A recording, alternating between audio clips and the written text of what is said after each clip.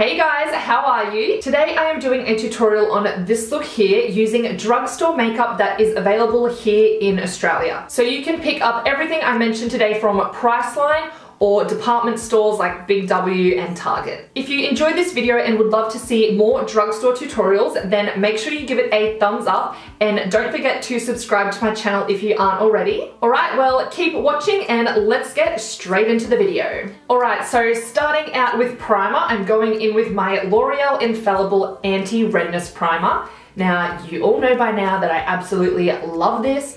It just dulls down my redness oh, like magic. Like, are you ready for this? I don't think you're ready for this, okay? Okay.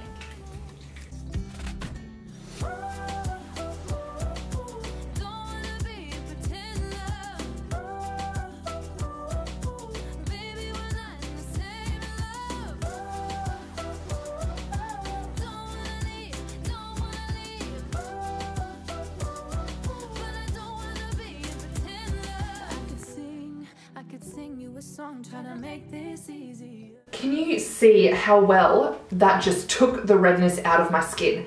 Every single time I use this primer, I'm just as amazed. I absolutely love it. Now that primer does take a lot of the redness out of my skin overall, but I do still have some blemishes that I want to cover up. So I'm going to go in with the Rimmel Insta Conceal and Correct palette and use the green shade just to go over some of these bigger pimples on my cheeks. So I've just got a tiny amount of this on my brush. I think that is the key when it comes to using a green concealer. Less is more. So I'm just going to go around and dab this all over my pimples and slightly blend it out.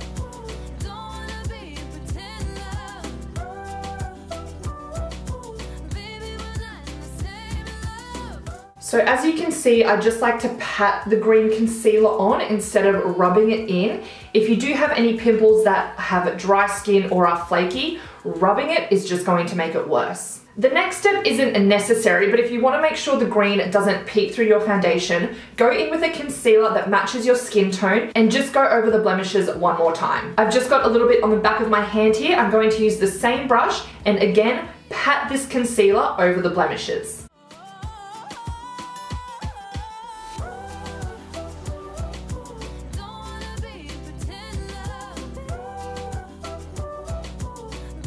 Alright, so that is how I cover up my pimples and my redness. While I've got the Rimmel palette out, I'm just going to go ahead and do a little bit of color correcting under my eyes. So I'm just using this peach tone here and I've only got a tiny bit on the brush and I'm going to very lightly apply that on the inner corners of my under eye. Now it is time for foundation and I'm going in with the NYX Total Control Drop Foundation and I have the shade Porcelain. Now there is a lighter shade than this available but I don't think it's stocked at Priceline. So if this one is too dark for you but you really want to try it, just have a look around online and I'm sure you'll be able to pick up the lighter shade somewhere. If I find it, I'll link it down below for you to make it easier. So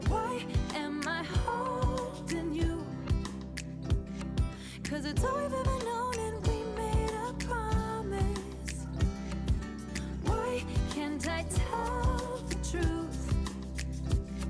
we've ever known I really like this foundation because it is really, really lightweight. It feels so good on the skin and it is really buildable. So as you can see, I'm just going to do one layer now with the brush and then I'll go ahead and put a little bit more on and blend that out with my Beauty Blender just to get a little bit more coverage and a really nice flawless finish. I've got a nice new Beauty Blender as well. Oh.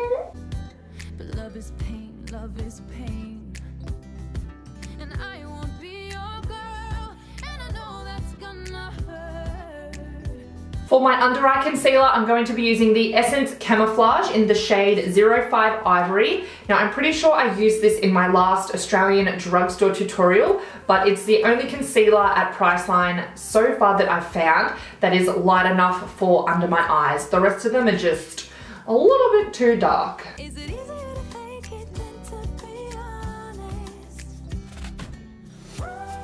So this one claims to be a full coverage concealer. It's no sharp tape tape. what? Sharp tape tape. oh my god. As I was saying, it's no Tarte Shape Tape, but if you do two layers, you definitely get a really nice coverage. And then to set under my eyes and the rest of my face, I'm going in with my Rimmel Insta Fix and Matte Translucent Powder.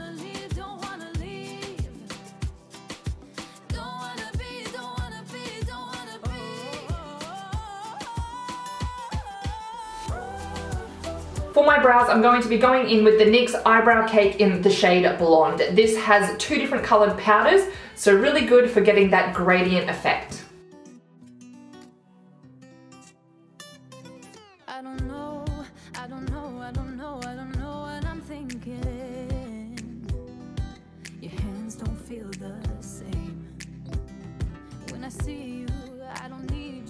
And then once the brows are on, I'm going in with the NYX Tinted Brow Mascara in the shade Blonde.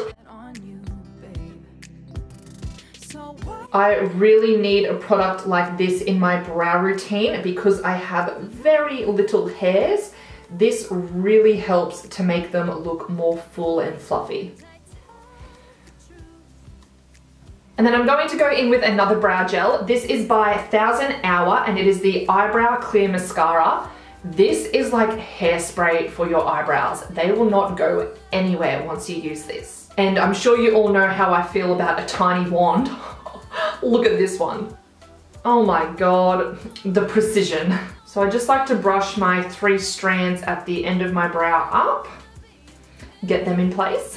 Now I'm going to go back in with my Essence Concealer and I'm going to use this for an eyeshadow base and I'm also going to clean up under my brows.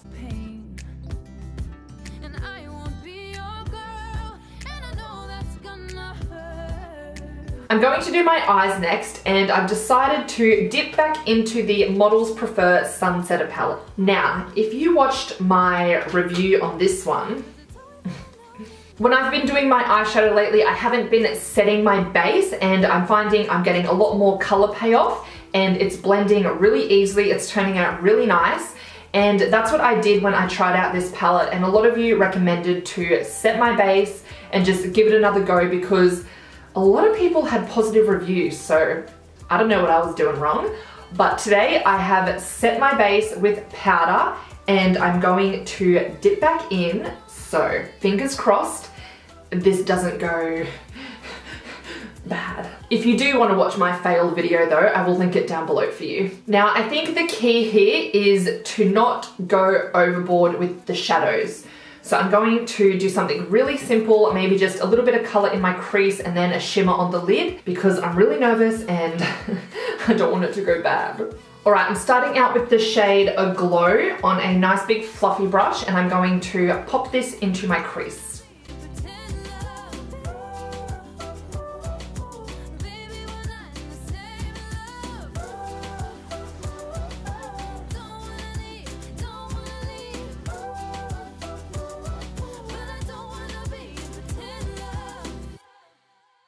So far so good. It is packing on and blending out nicely. The color isn't as pigmented as I would like.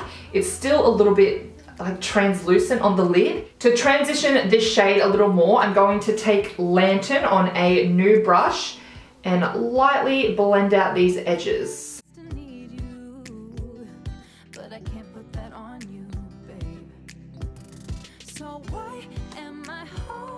Now I really want to deepen this up with this shade here, but I just think it's too dangerous, like I'm way too scared. So all I'm going to do is take this gold shade called Beacon and apply this to the lid. I'm first just going to apply it with my finger and then I'll go in with a brush to blend it into the transition color. See, like it's not even Look how pigmented it is on my finger. And then when I try and apply that to the lid, it just isn't coming off. And like, look how much is still on my finger. So I've got some on the brush there and I'm going to give it a spritz with my Fix Plus, which is pretty much empty.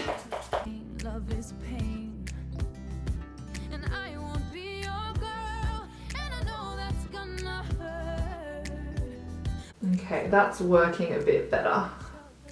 I do have to kind of scratch the color up off the palette though. Instead of just wiping it I have to kind of scratch it up to get some color on the brush. I'm just going back in with more of that peachy shade to blend those two colors together. All right, well, I'm just going to leave it at that. Final verdict is I do not like this palette. The shadows just don't perform how I want them to. I still think it looks a little bit patchy. The shimmers definitely aren't as pigmented as they swatch. Mm, it's just not doing it for me. So I'm gonna leave the eyeshadow at that. I'll go ahead and put a little bit of the peach shade on my lower lash line. I'll finish the other eye and I'll be right back. Next, I'm going in with some eyeliner. I'm using a pencil to tight line and then I'm going to use my Maybelline Hyper Sharp Wing Liner to do a thin line across my upper lash line.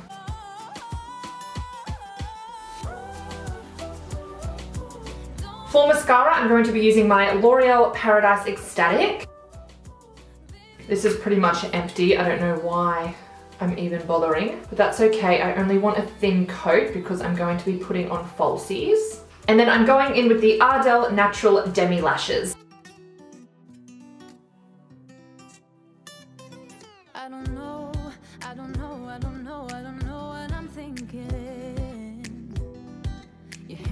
Once my lashes are applied, I like to go back in with my liquid liner and go over the lash band to make sure nothing's peeping through and there's no glue or anything showing.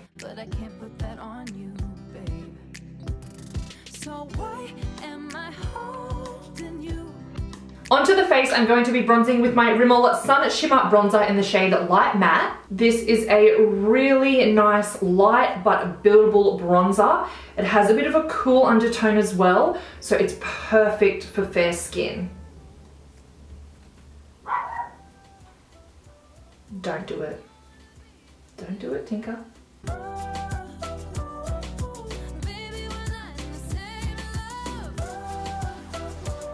For blush, I'm using the Maybelline Fit Me in the shade Coral. This has become my new favorite blush. It has a really nice sheen, which gives a nice glow to the skin, but it's not like too shimmery or glittery. It's also really buildable, which I love in a blush, and the color just gives a really nice flush. Mm -mm -mm. And then for highlighter, I'm going in with this eyeshadow by Essence. It's from their My Must Haves collection. So they have single eyeshadows and you can buy a little palette and you can put four of these in them. So this here is the shade Apricotta.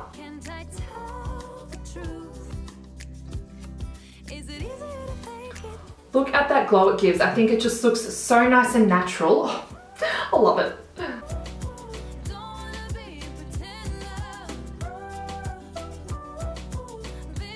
There aren't a big variety of highlighters for fair skin at the drugstore or Priceline. So having these little eyeshadows is a really great alternative and they are so affordable. Like, look at that glow. Ooh.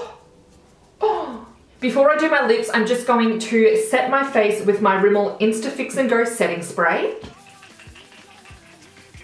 And I'm just going to keep this look neutral today. I'm going in with my NYX Luv Out Loud liquid lipstick in the shade Confident.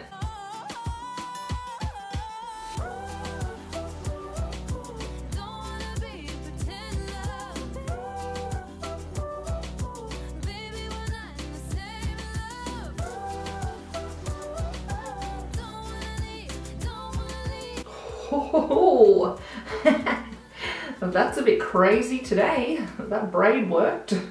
oh my god. Alright, well this is the finished look using all products from Priceline. I hope you enjoyed watching today. Today's subscriber shout out goes to Crystal, forgive me on your surname, Emascua? Emescua? I'm not too sure, sorry. But Crystal is also very fair with freckles and has some redness and she is just always giving me such positive feedback on my videos, which I really, really appreciate. She is so lovely and I just want to say thank you for being a part of my channel. I will list all the products that I used down below in the description box if you missed them. Don't forget to come follow me on Instagram as well because I post heaps of makeup pictures and makeup videos. I hope you are all having a lovely day and I will see you in the next video. Bye!